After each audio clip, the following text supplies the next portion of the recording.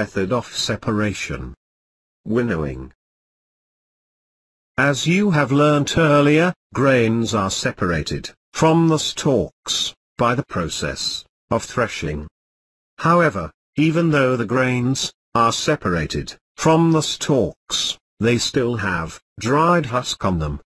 This husk needs to be separated before the grain can be used. The method of separating the husk from the grain is called winnowing. It is used to separate heavier and lighter components of a mixture by wind or by blowing air. By this process, the husk is blown away, as it is much lighter than the grain. So, when the grains are gently dropped to the ground from a height, only the grains are collected, and the husk is blown away.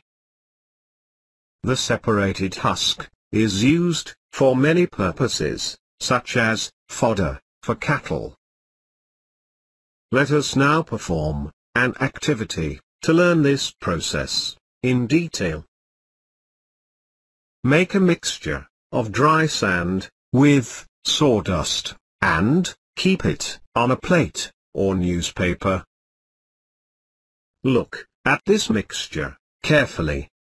You will notice that the two different components cannot be made out easily. This is because their particle sizes are similar. Also, they cannot be separated by hand picking. Now take the same mixture to an open ground. Stand on a raised platform. Hold the plate with the mixture at your shoulder height. Tilt it slightly, so that the mixture slides out slowly. What happens?